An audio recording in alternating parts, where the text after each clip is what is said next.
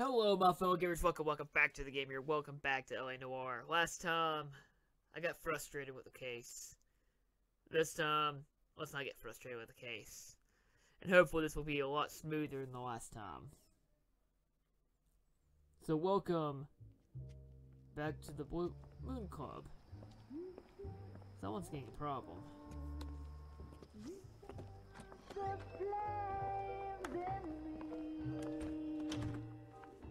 so confused. And now my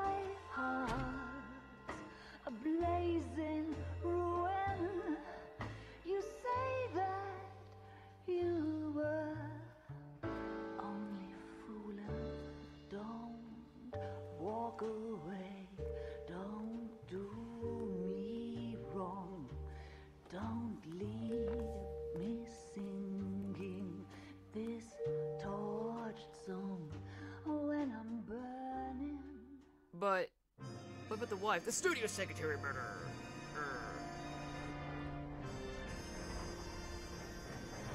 I wonder if it's gonna be just like the other ones. I feel like there's a really good chance.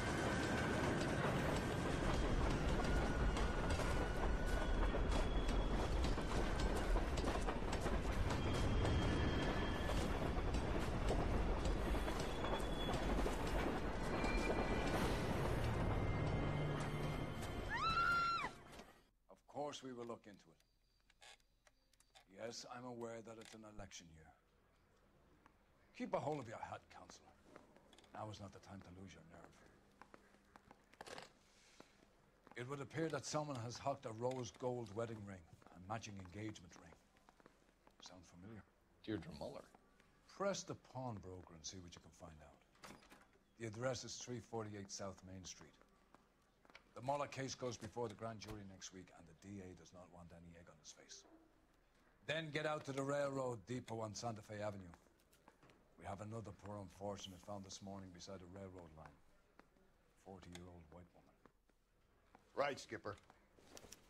We have an age? Okay, that's a little bit different. Usually we don't get the age right away. Alright, so this is the rail yard. Another body and Deirdre Moller's ring. The Emperor may soon have to come to terms with the fact that he's wearing no clothes. What exactly did you get that book of riddles shoved up your ass, Phelps? Is that what your old man paid college tuition for? Huh. You're behind the wheel. And where exactly are we going? Oh, I forgot there's two locations because he did say that. That's very interesting that Moller is back on this. There's no way that. You've got to admit, this is looking odd. Anyone could pawn a ring. But if you take it along with all of the other indicators, Cole, Hugo Moller was identified by the school's groundkeeper. He's our guy. witnesses have fingered the wrong guy before, He ran, for God's sakes. and he always maintained he was set up. I mean, yeah? But. Wait. Oh, wait. That's right. Again, if you haven't figured it out, you will.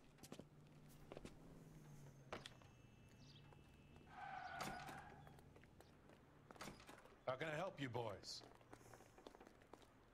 Help me out.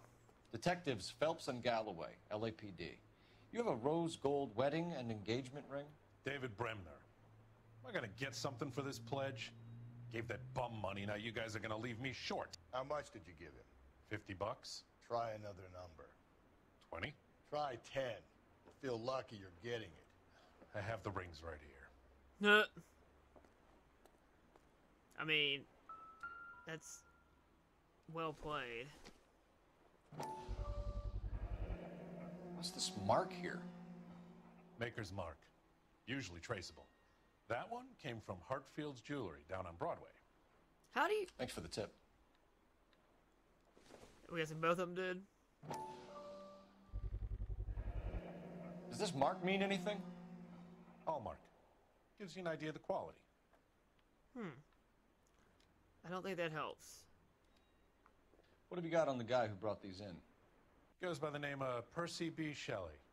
Gave an address 15 Poland Street, London, Tulare County. Can you give us a description of the man who pawned these rings? Not sure. Medium height, medium build, dark hair, I think. Sorry. He just had one of those forgettable faces. We'll be in touch, Mr. Bremner. Very interesting.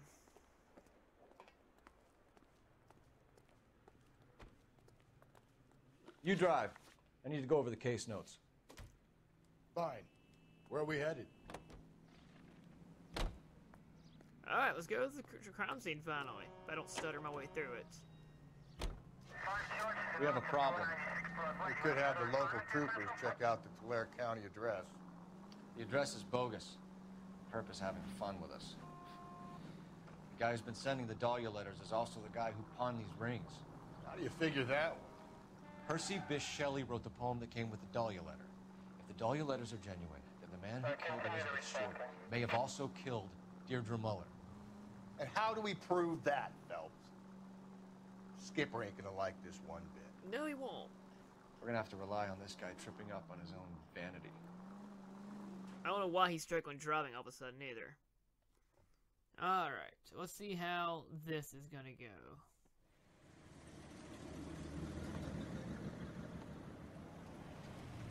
You boys ready? Follow me. Wait, We should keep this development with the rings. We're all on the same team, Rusty. Chain of command, Phelps. The skipper will decide who needs to know. You got it? I get it, Rusty. I just don't like it. fair.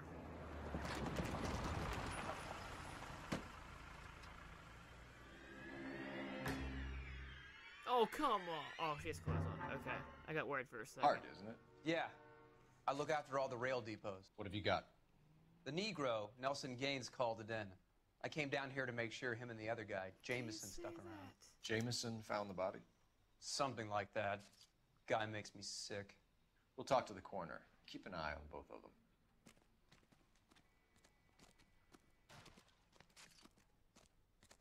Alright, lady. Ugh. The smell? Very good. There is the usual evacuation smell, but it appears she's been living rough for quite some time. Yeah. Very strong smell of alcohol.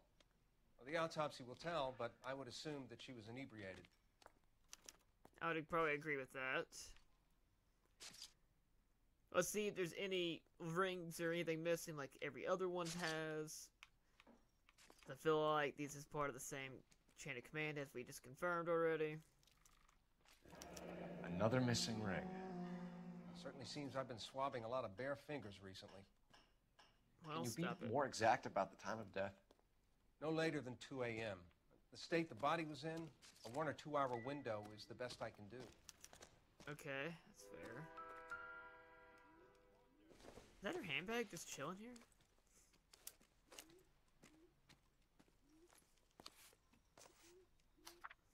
Oh gosh. We're missing half a letter. Someone was trying to get her to come home.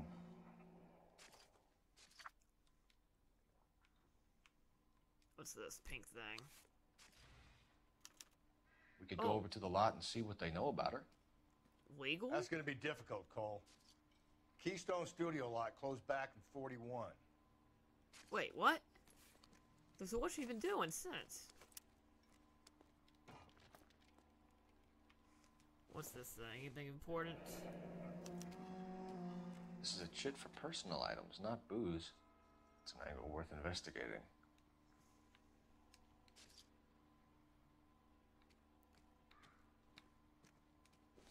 No, I want the. There we go. I don't know why I wouldn't move the finger.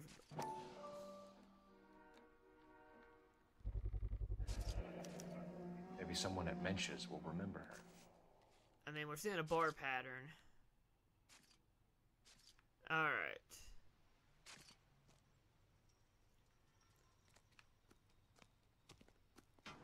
What do you got for me? Detective Phelps, LAPD homicide. John Ferdinand Jameson. We need you to answer some questions, John. If you don't mind, I prefer Ferdinand. Don't push your luck, knucklehead. What were you doing to the body, Ferdinand? Are you sure you won't be upset? Try me, Ferdinand. I was kissing her. Oh, come on. It's not against the law. Shut up. There's no Take law your against beating it. like a man. Turn out your pockets, Ferdinand.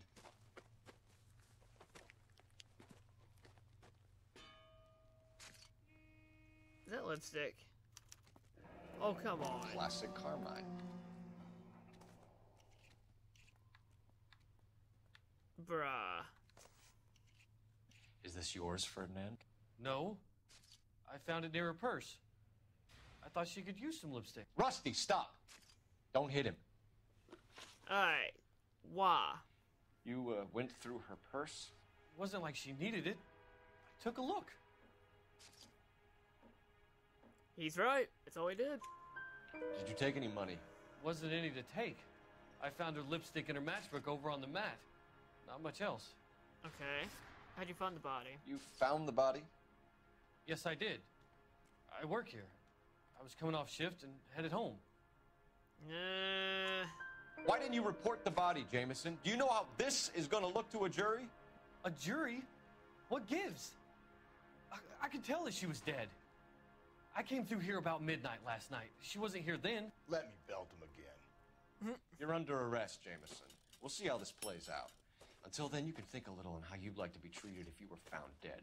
I'm telling you, it's not illegal. Me and some friends of mine. yeah. Clyde, you get this sack of shit into a cell. I'll deal with him later. Sure, Rusty. Alright. So, easiest thing is let's go figure out the liquor store. Everything else we've done really well on, but we don't really know anything about this liquor store that she went. Phelps, 1247. How can I help, detective? How can I help, Detective? I need an address on Levine's Liquor, closest store to the Santa Fe Avenue rail yard if possible. Just a moment, Detective. Closest store would be the one at 939 South Hope Street. Thanks for your help. Fair enough. Alright. So the first thing we're gonna do, like I said, we're gonna go to the liquor store. You can if drive. you don't do the liquor store, exactly you're not gonna get five stars. Spoiler warning. So hopefully this will be pretty easy. You read that those goddamn Chinese want to sell the relief food that we're sending them? Yeah. Yeah, I read about that. Those people are starving. They can't do that. They want to sell the food to fund the civil war against the communists. Really? I guess that's okay. Then. Armies can't fight without food. Spend all your money on weapons, but you still have to have the will to fight. Yeah. Fortunately, the Reds will win in China. Watch your mouth. You know what you're saying? The people of this country overthrew a king. You think the Chinese will balk at an emperor if they are starving? He's, he's got a point. Alright, so. Hopefully, this liquor store has some good stuff. And our radio keeps going off for no reason. Of course, the liquor store opened seven days late. Why wouldn't it? Oh, we don't have to talk immediately. What can I do for you? LAPD, Phelps and Galloway. We're making inquiries into the murder of Evelyn Summers. Evelyn? She's dead? You knew Evelyn Summers, Mr. Robbins. Yes, I knew Evelyn. I was a good friend of her ex-husband. She kept some of her stuff here. Can you show us, please? Sure. Come this way. Well, this got.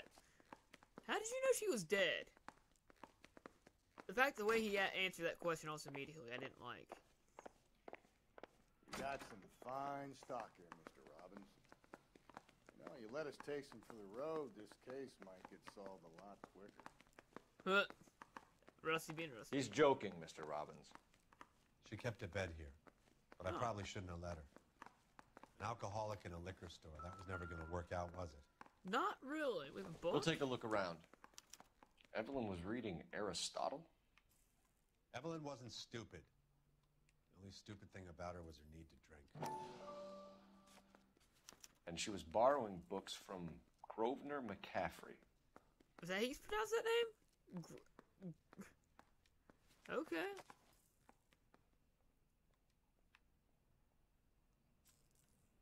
Is that a bowling pin? Why? Why is there a bowling pin here? Oop.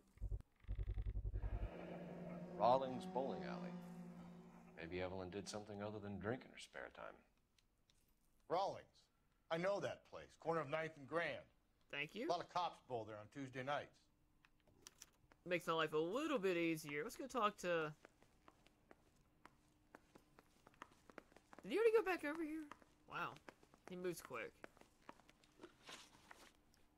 So, contact. We're trying to account for Evelyn's movements yesterday.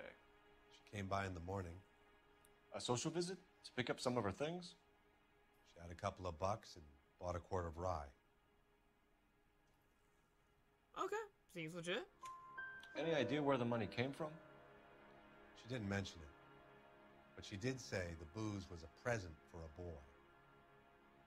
She said they had been fighting and she had to make it up to him. Uh huh. So, tell me about the vi- your Were relationship. you and Evelyn close, Mr. Robbins? Not many people will be sad she's gone. Oh. I'll be one of the few. Okay. We got the impression that Evelyn had been sleeping rough of late. It became difficult for me to have her staying here. Her mother was trying to get her back on the straight and narrow. She's old now. And to be honest, you have to have a good reason to want to get back on. That's fair. Okay. McCaffrey. You know a friend of Evelyn's by the name of McCaffrey? Not personally. You're not telling me something. We're struggling for leads, Robbins.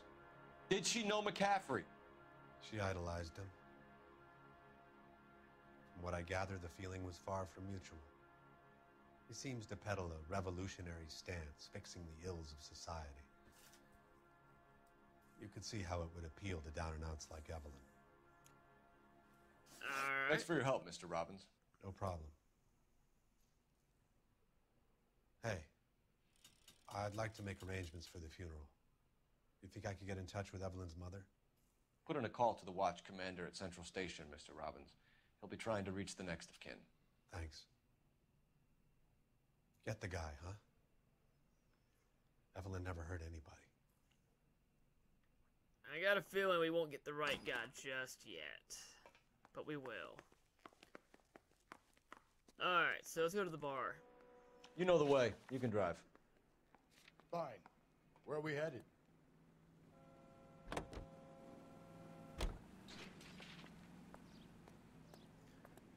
Of course, go to the bar before the bowling alley. You this bar with every single one of these cases for a reason. And that's very important.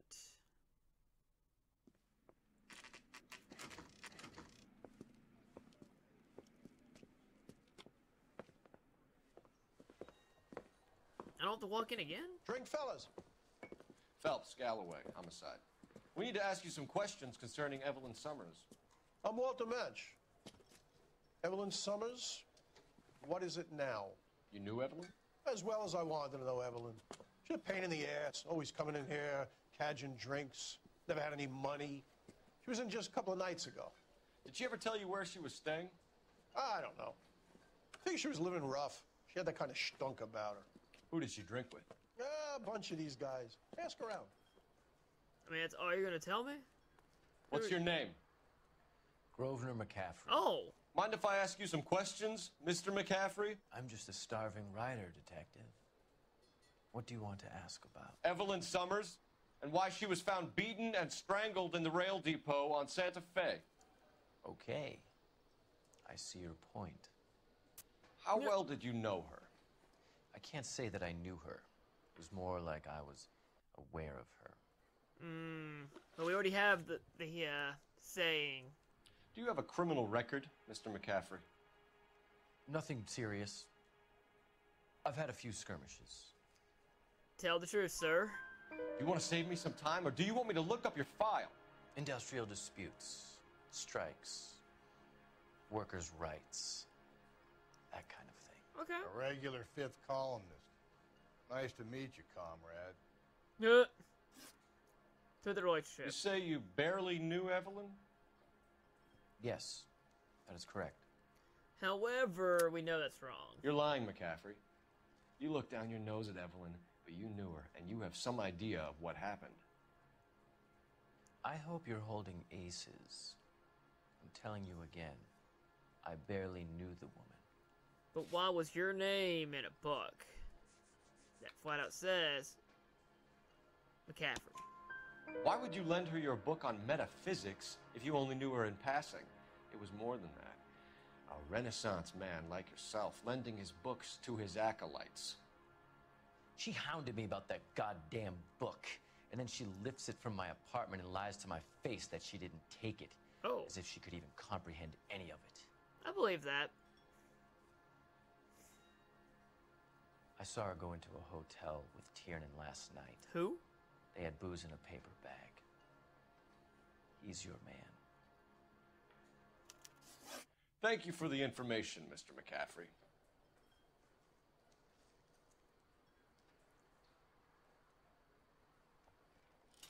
Wait a minute. Okay, so At the moment, all I want to do is talk to the bottom of my glass. there's a glitch in the game that you may not get another question with. You're him, behind the wheel. And I feel like the question's Where important, exactly are we going? but it shouldn't hurt us for not doing it. And that's why I said you just. Yeah.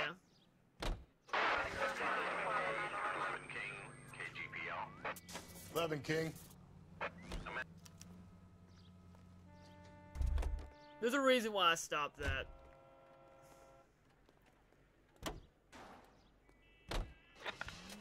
Because we're not doing that first. We will go to the, the bowling alley first. And I'm gonna drop, I forgot about that part. We have to do this first.